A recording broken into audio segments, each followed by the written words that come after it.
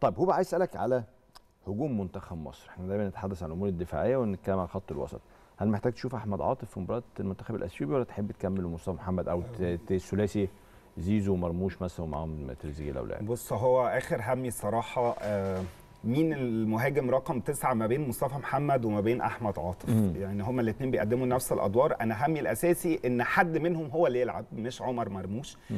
لأن اختيار عمر مرموش في التشكيل الأساسي منتخب مصر في المباراة اللي فاتت ما كانش موفق بنسبة كبيرة لأن في هو المركز رقم تسعة. في مركز رقم تسعة بالظبط. هو كنت بفضل إن هو يلعب في المكان بتاعه الطبيعي جدا. جناح. هو يمكن كابتن إيهاب جلال كان بيجرب فكرة إن زيزو ما يلعبش في الجنب اليمين فكان لقى ليه دور في الجنب الشمال ولعب عمر مرموش. أنا مش شايف آه، يعني حاجة تانية ممكن يكون اختيار عمر مرموش في التشكيل الأساسي كرقم تسعة بسببها يعني.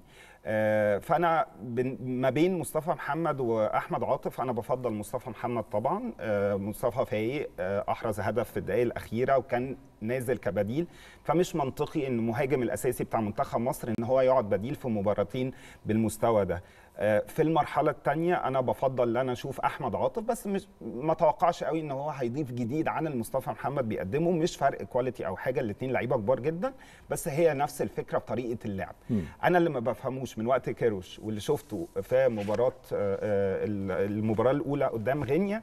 هي فكرة إن كل مرة مصطفى محمد بي- بينزل فيها بيكون زيزو بيطلع وكل مرة زيزو بيطلع فيها مصطفى محمد هو اللي بينزل. أتمنى أشوف الاثنين مع بعض بس في خطة 4 2 3 1 مش في خطة 4